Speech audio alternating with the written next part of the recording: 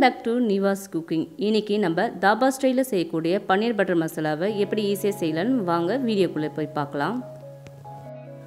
ஒரு கடாயில் மூணு டேபிள் ஸ்பூனுக்கு ஆயில் சேர்த்துக்கலாம். கூடவே ரெண்டு டேபிள் ஸ்பூனுக்கு பட்டர் சேர்த்துக்கலாம். பட்டர் வந்து நல்லா உருகி வரட்டும். இப்போ இதில் ரெண்டு கிராம்பு ரெண்டு ஏலக்காய் சேர்த்து நல்லா வதக்கிக்கலாம். இப்போ இதில் ஒரு பெரிய சைஸ் வெங்காயத்தை நான் நீல வாக்கில் கட் பண்ணி இதில் ஆட் பண்ணிக்கிறேன். வெங்காயம் வந்து நல்லா கோல்டன் ப்ரௌன் ஆகணும்னு அவசியம் இல்லை. லைட்டாக வதங்கினா போதும். இப்போ இதில் ஆறு பல் பூண்டு ஒரு துண்டு அளவு இஞ்சி சேர்த்துக்கலாம். இஞ்சி பூண்டு சேர்த்து நல்லா இதை வதக்கி விடுங்க. நல்லா வதக்கினதுக்கப்புறமா இது கூட ரெண்டு தக்காளி பழத்தை கட் பண்ணி ஆட் பண்ணிக்கலாம். இப்போ இதையும் சேர்த்து நல்லா வதக்கி விட்டுருங்க.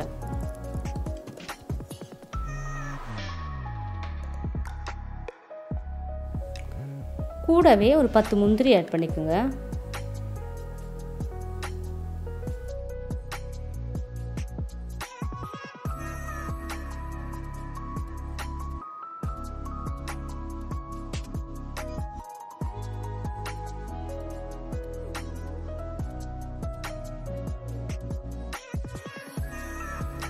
முந்திரி ஆட் பண்ணி வதங்கினதுக்கப்புறமா இதில் ஒரு ஸ்பூன் அளவுக்கு நம்ம சால்ட்டு சேர்த்துக்கலாம்.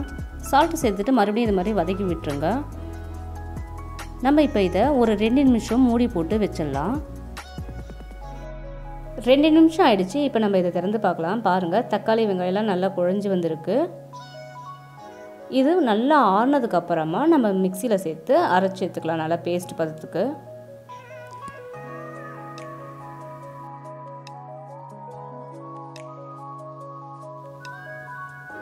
இப்போ கடாயில் ரெண்டு டீஸ்பூன் அளவுக்கு ஆயில் சேர்த்துக்கலாம்.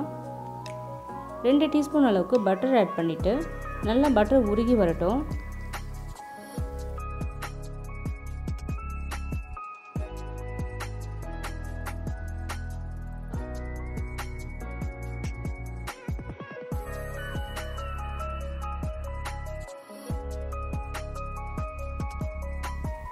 பட்டர் நல்லா உருகிடுச்சு இப்போ இதில் ஒரு பிரிஞ்சி இலை சேர்த்துக்கலாம்.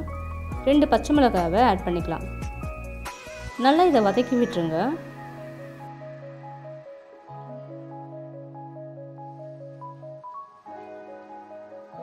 இப்போ இதில் நல்லா ஒரு பெரிய வெங்காயத்தை பொடியாக கட் பண்ணி இதில் ஆட் பண்ணியிருக்கேன்.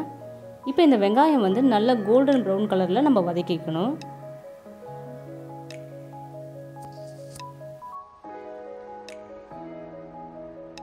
பாருங்கள் இப்போ வெங்காயம் நல்லா கோல்டன் கலரில் வந்திருக்கு.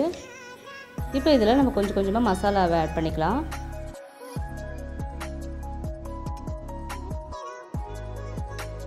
இப்போ இதில் கால் ஸ்பூன் அளவுக்கு மஞ்சள்தூள் ஒரு ஸ்பூன் அளவுக்கு தனியாத்தூள் ஒரு ஸ்பூன் அளவுக்கு வெறுமிளகாய் தூள் சேர்த்து நல்லா வதக்கி விடுங்க.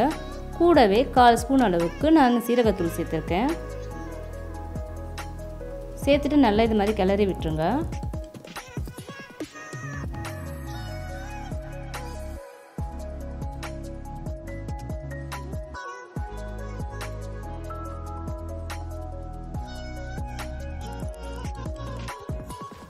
இப்போ இதில் நம்ம தேவையான அளவுக்கு உப்பு ஆட் பண்ணிக்கலாம். உப்பு ஆட் பண்ணிவிட்டு நல்லா கிளறி விடுங்க.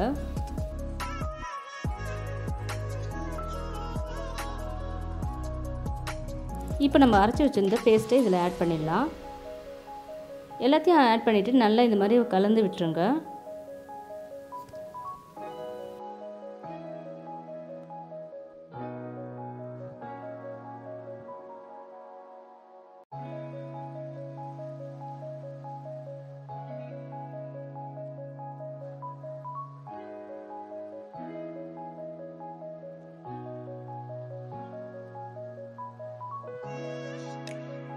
பாருங்கள் இப்போ இதில் அரை ஸ்பூன் அளவுக்கு கரம் மசாலா சேர்த்துட்றேன் சேர்த்து விட்டு நல்லா இதை கிளறி விட்டுருங்க.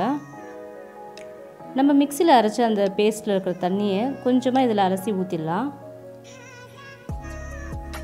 இதையும் இது மாதிரி நல்லா கலந்து விட்டுருங்க. இப்போ இதில் லைட்டாக எண்ணெய் கொஞ்சம் பிரிஞ்சு வரும். பாருங்கள் எண்ணெய் அப்படி லைட்டாக பிரிய ஆரம்பிக்குது. இந்த டைமில் இதில் ஒரு கப் அளவுக்கு நம்ம தண்ணியை ஊற்றிக்கலாம் தண்ணியை ஊற்றி நல்லா கலந்து விட்டுருங்க.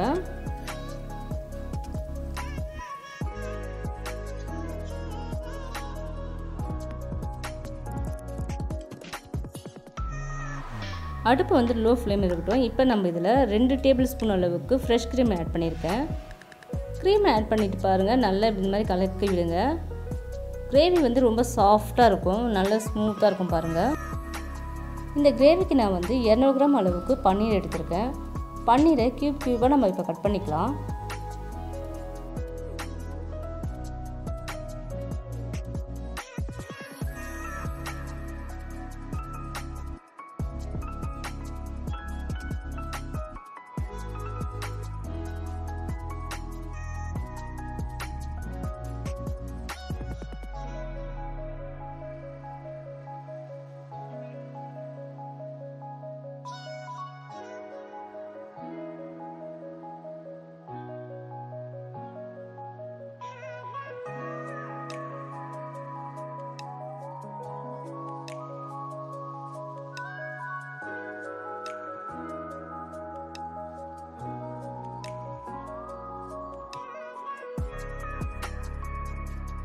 கட் பண்ண பன்னீர் துண்டுகளை நம்ம இப்போ இந்த கிரேவியில் சேர்த்துட்டு நல்லா கலந்து விட்டுடலாம்.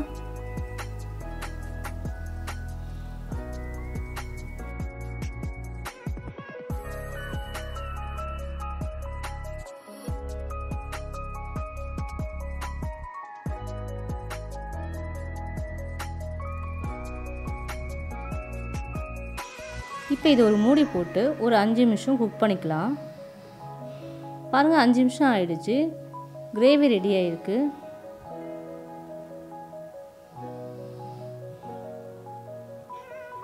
இதை மறுபடியும் ஒரு முறை கலந்து விட்டுடலாம்.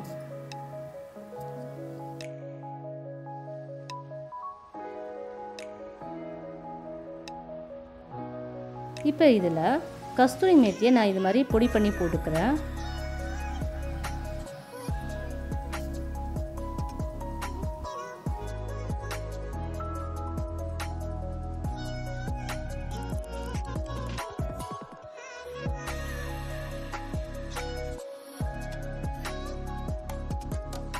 இப்போ நம்ம இதை வேற ஒரு பவுலுக்கு மாற்றிடலாம் சப்பாத்தி நான் ரொட்டி பரோட்டா தோசைக்கு ஒரு அருமையான ஸ்டைடிஷ் ரெடி ஆயிடுச்சு.